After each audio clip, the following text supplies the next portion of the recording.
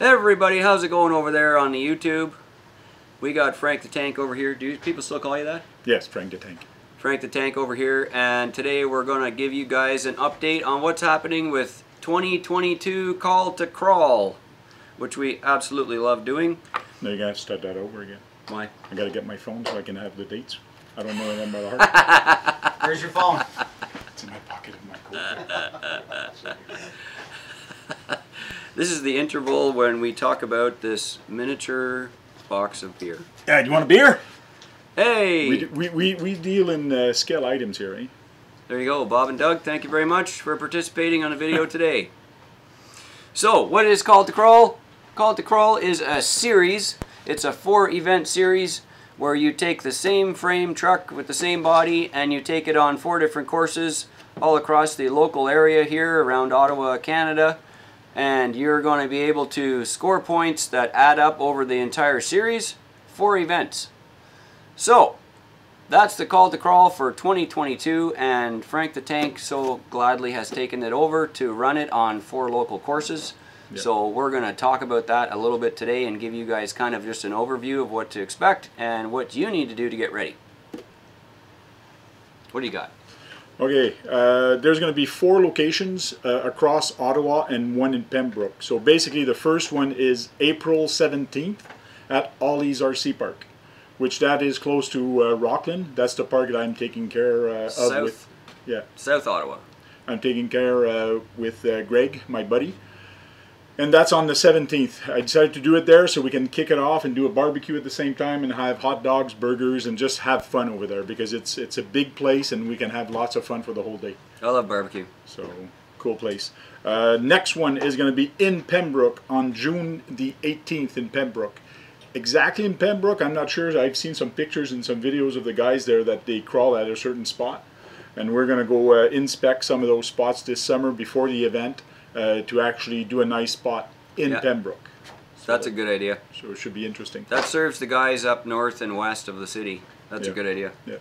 And the other guys that are always forgotten, uh, but I've seen a lot of pictures and video of them, is actually uh, in Gatineau. Uh, they've been going to the Lac Beauchamp over there. Yeah. And there's some nice rock area. There's a nice big park where you can have fun with some bashers uh, if you're waiting and you're doing stuff.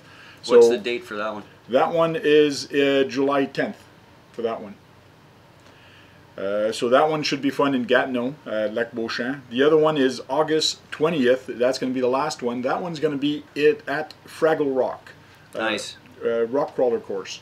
Uh, a lot of people know Fraggle Rock. You can find them on uh, Facebook, just like uh, Ollie's RC Park.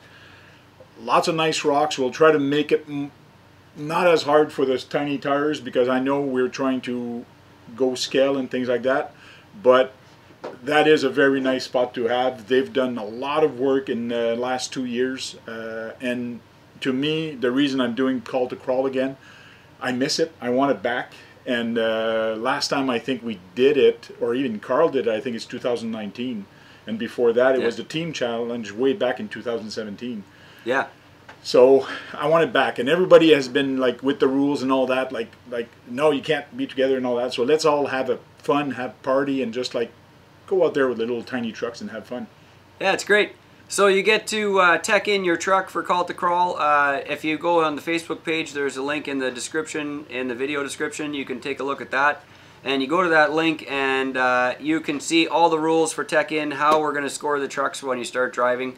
And there's a few things that you can do over the course of the event to actually improve your score. So not just your driving stuff that you're going to look after, like uh, self-recoveries and helping somebody else and getting bonus gates. Those are kinds of things that will help your score. But you can also improve the same truck over the four events. You could add some scale accessories, you can do some functional lighting, you could do some upgrades as you go if you haven't done them already to try to increase your tech score as well before the event even starts. Pretty great. Cool. Like there is functional item, like a door Yeah. that opens is functional. Yep. Lights that are not working are are items but non-functioning. But if they're Yeah. if they turn on, those are functioning items. Yep. Uh, winch is a functional I- items if it If it actually works. Yes, if it works. You don't have to prove to us that it works. We'll take your word for it. Um, what other functioning items could they be? Well, uh, you could have a recovery jack. Yeah.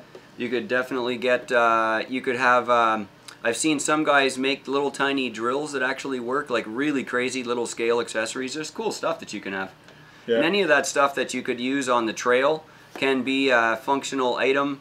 So uh, let's talk about recovery ropes or uh, Recovery chains ropes, or some uh, sand ladders or something that can you can use on the on the trail to uh, help your your progress. Is a spare tire considered as a an item, a, a functional item? Because it is functional. You could use it. You could definitely bring a spare, and it's possible. I won't say it's true, but it's possible that a bonus gate would actually be a spare tire change. Gas cap. Cool. Ah, yeah, any kind of opening door? panel like a fuel door that opens, or uh, uh, one an actual door, a hood. Those are window all. window that goes up and down. Yeah, I mean, yeah, you could go crazy if you want to go. I know the BRX Miniature one they have it. Yeah, you can get it for the 70 body. Yeah. Yeah. So that's a quick update about Call to Crawl. Uh, take a look at the rule structure. If you have any questions or comments, do post them in the Facebook group, and we'll be updating all the information there on a regular basis. You will also get a truck sticker for Call to Crawl with the single number on it that your that your truck is for the four series. So if you get a number, say 25 or whatever, then that number you carry throughout the whole series so that we can track your progress and uh, you have this on the same truck. For the four series, you got to ch- keep the same body and keep the same chassis. Yep, the You- rules are. You can change the tires though. Yep. Yep. You can change your tires. The tire size will give you uh, bonus points for small tires. You can change your tire size if you feel like you're not making enough progress driving. You could go to a bigger tire, but maybe you'll end up losing the tiny tire extra bonus. Uh, you know, you could def- definitely. You need the same body.